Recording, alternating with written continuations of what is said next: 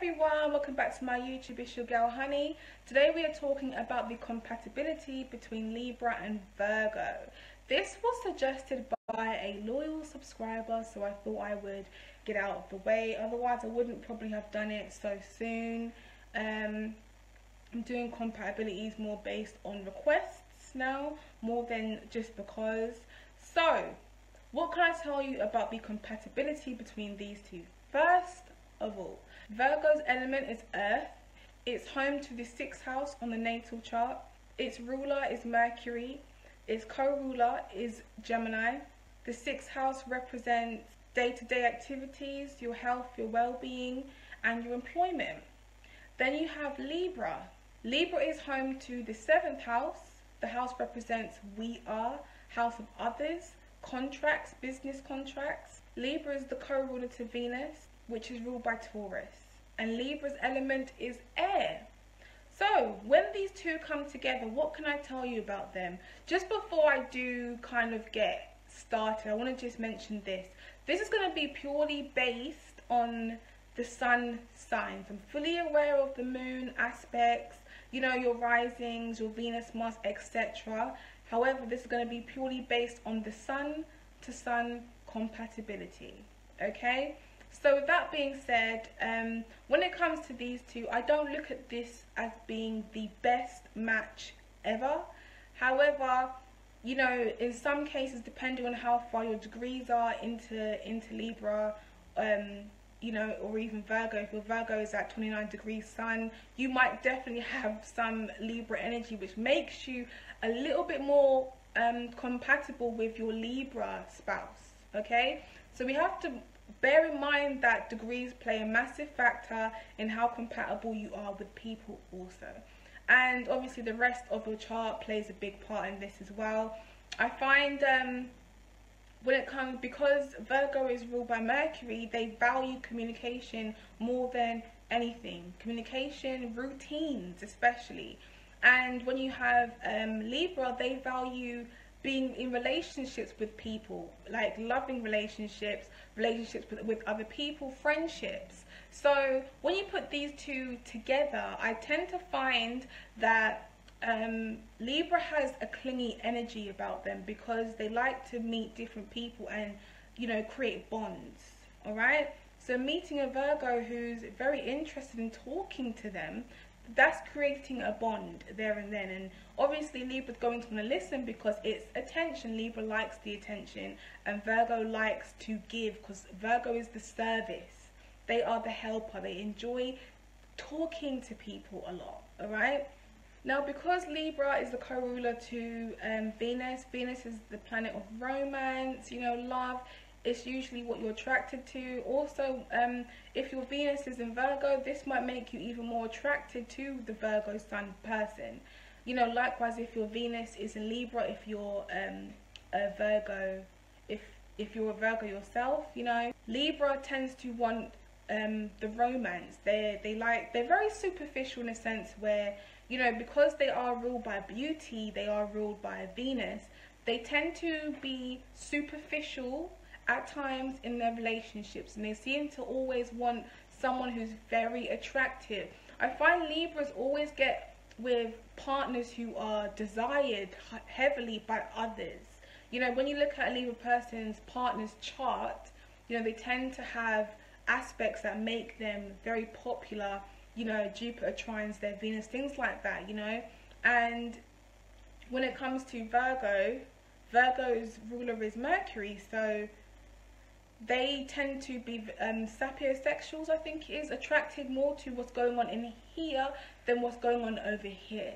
They want to just, they, they value communication, so talking and exploring minds is more important than how someone looks and how lavish their lifestyle is, how glamorous things are. So when these two do hook up and get together, I tend to always wonder what's attracted you guys together apart from what I've just said and apart from your charts, you know, because it's a very unusual match. However, okay, we have Jada Pinkett Smith, who is a Virgo, and she is with um, Will Smith, who's a Libra, you know, and they've been together for years. And you've got Cyn Santana and Joe Budden, you know, who are having a baby, and Cyn seems very, very happy. Now, let's just clarify this because they seem to have a very typical Virgo Libra kind of relationship, in my opinion. All right. And I say this because when Virgo gets into a relationship with someone, and Wiz Khalifa does this, Joe Budden is notorious for doing this. If someone else does it, you guys let me know down below. Yeah. But when Virgo gets into a relationship, they tend to promote their partners. They like to they like to let the world know that this is my partner. You know, um, let them be great. I'm happy with them. Everyone see and look at my partner. They like to promote their partner on social media a lot. And of course, Libra is going to love that. Libra is going to thoroughly lap that shit up because they do like the attention. It also makes them feel like their relationship is a lot more validated now because it's it's publicly known to the world that I am in this relationship and I'm not I'm no longer I am I am now we are. Now the thing is with Libras because they do have a superficial nature about them they tend to go for partners. Like I said who are desired by other other people a lot but they tend to go for partners who is able to provide them with a certain type of lifestyle. You know someone who has a really good job or someone who um, has a really high status, someone who's respected highly in their community because it makes them feel good and they they are they are very superficial in that kind of sense. Libra like men who are able to cater to them to show them the romantic side to things because they are they are the co-ruler to Venus. You know they like to feel like this man is gonna take me to a really nice place and wine and dine me and they love that. It's very easy to woo a Libra okay? Because they like all the things that's available in the world, right? Then you've got Virgo, and Virgo tends to kind of hold their their their passion, or they kind of they're quite reserved in their passion. And I find I always say this, but Virgos are um, very much slept on in very much slept on in the world because they are not they don't really exude passion. They they can be quite quite nerdy at times depending on you know the rising and stuff but they can be a bit nerdy and they can't they're not usually the most sexual sign um seen as the most sexual sign in in the zodiac. So so that can definitely stimulate some type of issue with the libra because libra likes the superficial people who seem really like attractive to others. Now the good thing about this union okay is that libra is very sociable, they're social butterflies. They would be ideal to help um, Virgo to come out of their shell because Virgo can be, Virgo is very awkward energy as well. Like when you first meet a, a strong Virgo aspected person, you know, they're a little bit awkward, you know, hi, hi, yeah, uh-huh, okay, a bit awkward in the face and, you know, just very nervous energy and Libra is amazing in social settings. You know, they can walk and talk to anybody. They're very much appreciated. They know how to handle conversation. And, you know, Virgo tends to have a lot of insecurities. And I always say this because Virgos tend to block a lot of blessings that they have coming their way because they worry a lot. They have a lot of anxiety and um, in this unionship, I do see Libra being the person that can show them, bruv, it's fine, like chill, like you haven't got to behave like that. But I find that, you know, usually Libras always come into new relationships out of a out of the last one with a wound because they are constantly in and out of relationships. Remember, Libras like to create bonds. So they're constantly in and out of different relationships, or they really want a relationship and they can't get one, and it just makes them feel undervalued. And because Virgo is all about the working, Virgo likes to work to keep relationships, and this will also help Libra feel valued because Virgo is working to keep their relationship together.